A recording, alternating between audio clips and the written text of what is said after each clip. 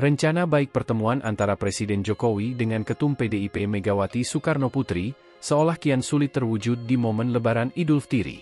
Pasalnya, syarat agar Jokowi bisa sowan pada Megawati kian dipersulit. Seperti yang disampaikan oleh Sekjen PDIP Hasto Kristianto. Ia menyebut, Jokowi tak bisa langsung bertemu dengan Megawati. Melainkan, harus bertemu dengan anak ranting dulu untuk mendapatkan restu bisa tidaknya bertemu langsung dengan ketum PDIP itu.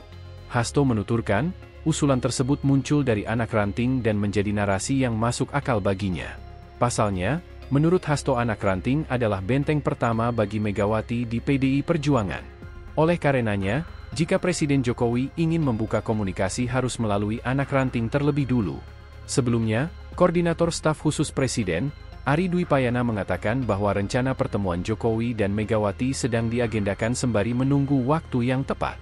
Menurut Ari, Presiden Jokowi tidak pernah membatasi diri untuk bertemu dengan siapa pun, terutama tokoh bangsa. ada rencana Pak Jokowi mungkin hadir? Ya ini kan bisa dilihat di sana itu kan tidak ada open house.